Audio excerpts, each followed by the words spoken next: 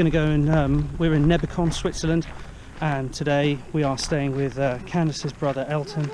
We're just he's just going to take us off on a uh, tour. We're going to Ballenberg. It is a historic museum on how the Swiss used to live. Uh, it's got a place on their farming, how they used to build their buildings, uh, and all traditional buildings. So we're going to go down. We're going to go and see it for the day.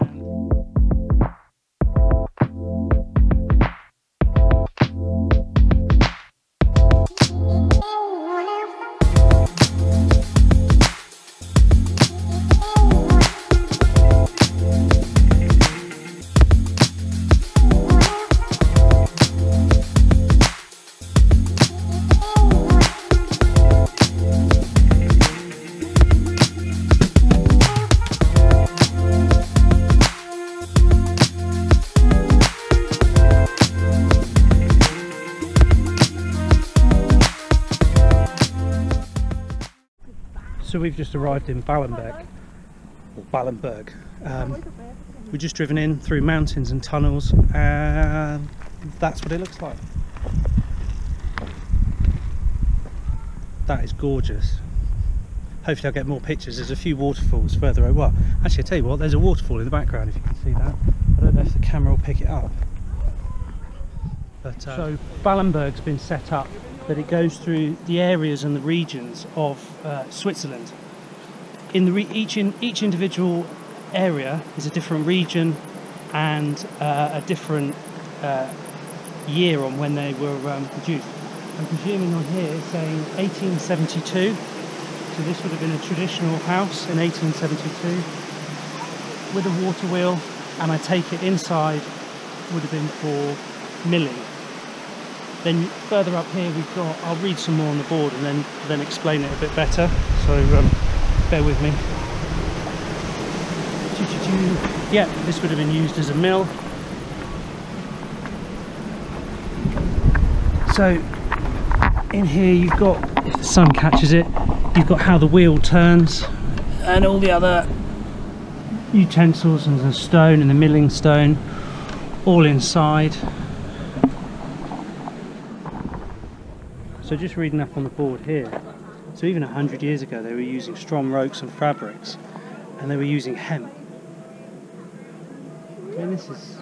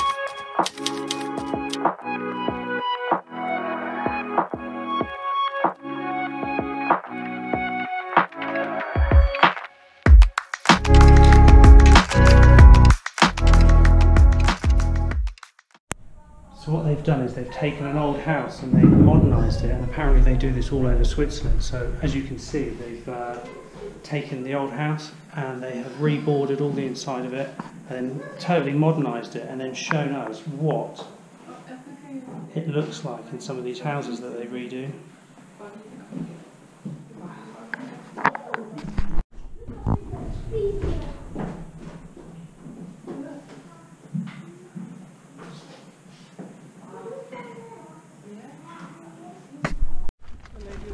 So where we've just been into in Ballenberg is the only traditional renovated house.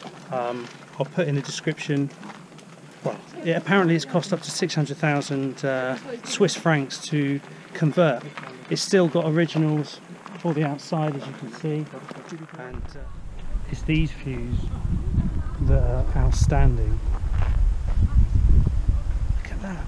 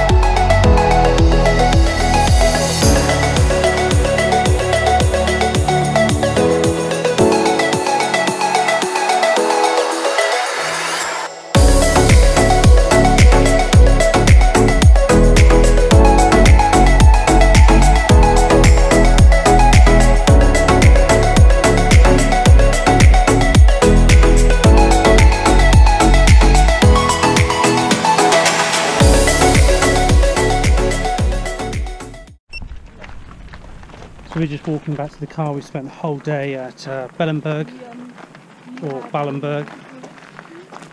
It's uh, the backdrop of the scenery is amazing, and also the heritage. They've designed so much of the areas and tried keeping it all traditional. They've shown us uh, how they've farmed over the last sort of few hundred years. All the traditional buildings. They've got workshops. They've got cheese making, all traditional. Uh, and then not only is, is it uh, a massive place, there's things for the kids to do. There is the backdrop of the mountains. Um, that's breathtaking, and the place is enormous. We spent all day walking around it. Uh, uh, there's, there's a lot to do.